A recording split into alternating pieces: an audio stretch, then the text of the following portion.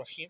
हज़रत अबू हुरैरा रज़ी अल्लाह तहो रावी हैं कि नबी सल्लल्लाहु अलैहि वसल्लम ने इरशाद फरमाया, जो शख्स खुदा और आखरत के दिन पर ईमान रखता है, उसे अपने मेहमान की इज़्ज़त करनी चाहिए।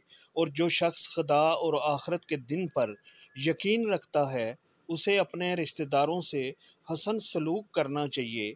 और जो शख्स खुदा और आखरत के दिन पर यकीन रखता है, या तो उसे भली बात कहनी चाहिए या फिर चुप रहे।